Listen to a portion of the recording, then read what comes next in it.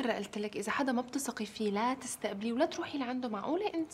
قومي تحممي خلينا نطلب شي ناكله سوا أنا ميتة جوع هلأ عن جد ما تفلسفي لي الأمور يعني إنه شو بتفرق يعني بالقوة ولا مو بالقوة؟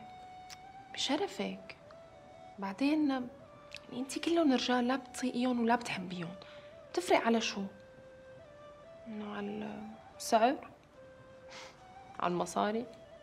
يا ستي اعتبري حالك قبضتي مصاري وضيعتيهم. نسيتيهم يا ستي تبرعتي فيهم لجمعية خيرية. إنه بتصير ولو. هلا إنه يلا. قومي قومي.